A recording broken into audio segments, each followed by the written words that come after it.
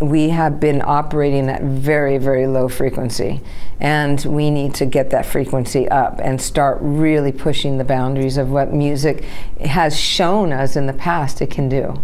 That was musician and super producer Linda Perry talking about the current state of the music industry. An industry she believes has forgotten about the most important thing the music.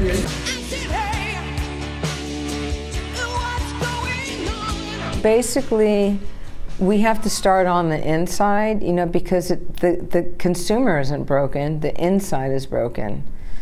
The consumer is telling us exactly what they want, and we're not listening. Perry believes the record companies are out of tune with consumers and that the record companies are swayed by the number of social media followers an artist has instead of the quality of an artist's work. That's flavor of the week is what why we're in trouble right now. It's partially the label's fault. It's the artist's fault too. You know, it's everybody's fault, but the labels, you know, were like, well, we don't feel like we need to make albums right now because why don't we do this? We're going to sign you like they're doing one-off deals now, like one song deals.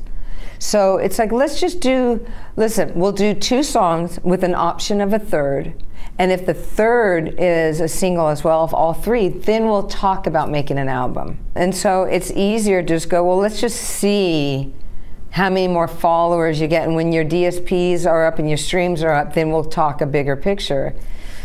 And what people don't understand is like it's all a lie because all those followers, they're bought. If anybody thinks that Kim Kardashian has a billion followers, they're on severe medication. Perry has been trying to make changes in the industry and says it's not rocket science. We take a very, you know, old school approach and we're just like, okay, one, let's find an artist that is a legacy artist. Who do we see 30 years from now? Does this artist look like they're going to be here 30 years or not? Yes. Okay. Then the next one is how much drive and motivation do they have? Because it doesn't matter if you're John Lennon with Imagine, if you have no, you know, motivation, well, it's a waste of time. Perry says the music industry needs to go back to the basics, worrying about the art of recording a song, the art of writing a song, and the art of mentoring an artist. That's when you'll be able to hear and see a difference in the music.